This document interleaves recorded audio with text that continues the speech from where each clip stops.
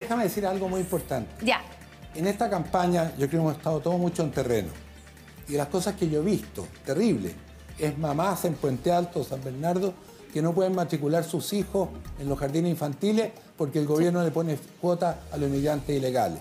Lo mismo está pasando en vivienda, lo mismo en salud. Yo respeto todos los derechos humanos, pero parto por los derechos humanos de los chilenos.